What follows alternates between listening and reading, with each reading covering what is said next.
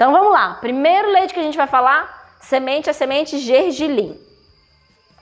O gergelim a gente pode fazer uh, com o gergelim branco, com o bege ou preto, sempre com casca, tá? O gergelim preto é o que mais tem cálcio. Gente, vocês sabiam que um quarto de xícara de leite de gergelim fornece muito mais cálcio do que os leites tradicionais?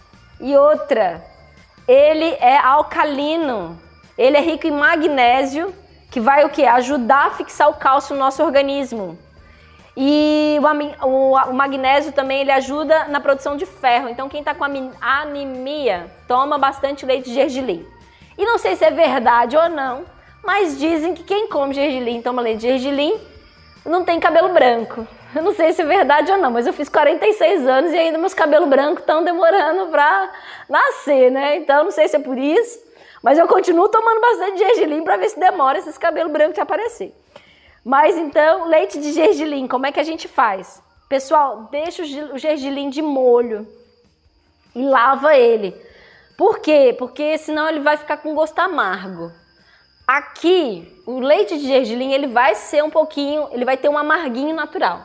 Vocês vão ter que testar se vocês vão deixar ele 3 horas, 4 horas, 8 horas, 12 horas de molho na água. E aí vocês vão testar o paladar de vocês. Eu deixo de noite e tomo de dia, de manhã. Então, ah, por exemplo, eu quero tomar leite de gergelim amanhã. Deixo gergelim na água agora. De manhã eu lavo aquele gergelim e aí o que, que eu faço? Só bater no liquidificador e coar. E aí tomar.